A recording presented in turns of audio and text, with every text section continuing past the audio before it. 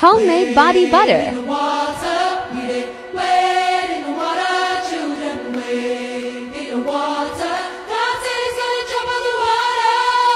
Shea butter, coconut oil, olive oil, vitamin E oil, eucalyptus oil, rosehip oil.